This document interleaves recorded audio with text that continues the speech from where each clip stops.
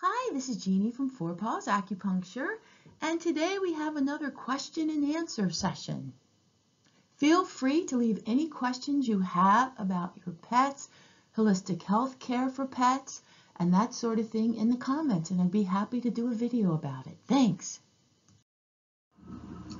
I received several questions about recommended foods for dogs and cats on this channel and in my acupuncture practice as well. So I'm not going to reinvent the wheel and do very long videos on nutrition for your dogs and cats. I do have several in my YouTube series about nutrition, chicken and turkey and brown rice and recipes and white rice and things like that. So go ahead and check out the videos I do have. However, I'm going to give you some resources that are handy to have, very, very wonderful resources filled with information that I cannot possibly duplicate.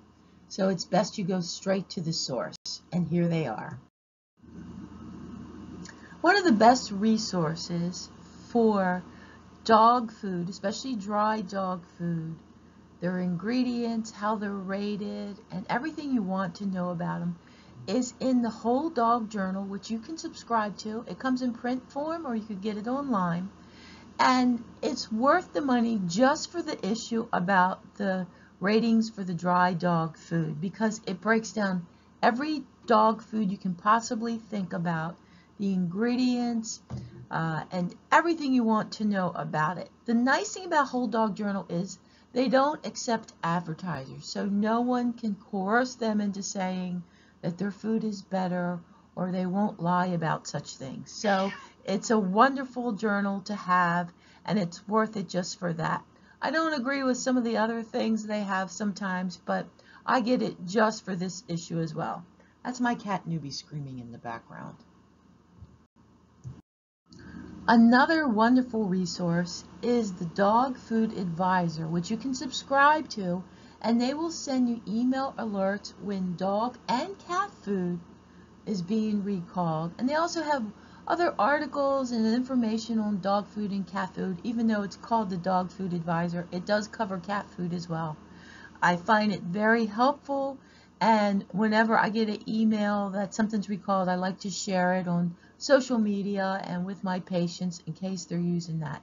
So it's free to subscribe and here's the link to their website that you can find online. Finding a resource for cat food was a little bit more difficult, but I found a really good site filled with so much information. And once again, I'm not going to reinvent the wheel. I recommend that if you want some great information about cat food and what to feed your cat, go to this site. It's by a vet, Lisa Pierson, and it's called Feeding Your Cat, Know the Basics of Feline Nutrition. And here's the website, catinfo.org. And it's free. For all cat lovers, I highly recommend Jackson Galaxy on YouTube.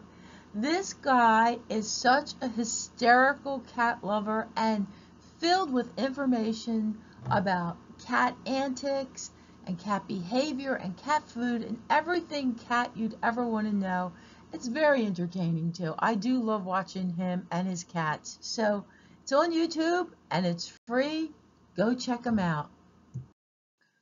For more information on holistic pet services, barking Zoom consultations, online classes, and books for people and pets, visit the Four Paws Acupuncture website, fourpawsacupuncture.com. Thanks so much for watching. Have a pawsome day.